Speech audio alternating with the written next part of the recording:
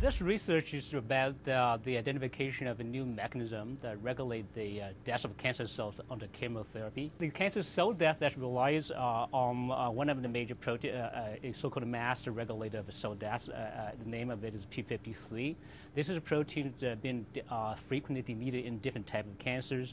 So cancer cells, if you don't have enough or a suitable level of P53, is resistant to chemotherapy. Um, so we found out that the, the level of P53 with stability of P53 is regulated by another protein called NUMB, uh, N-U-M-B.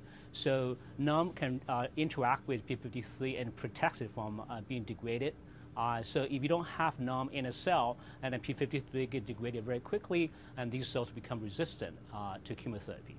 So we would like to uh, maintain a good level of P53 in these cells. So the good thing is that the, the funding really uh, is about how we can protect P53 from being degraded in a cell.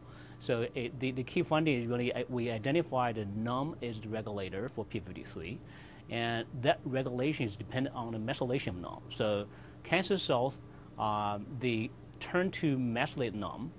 Uh, so when NUMB is methylated, uh, then it will not bind to P53 and protect P53 uh, from being degraded anymore. So uh, if we can actually prevent uh, NUMB from being methylated in a cell, in the cancer cells, then we would have uh, a means to uh, sensitize cancer cells to chemotherapy.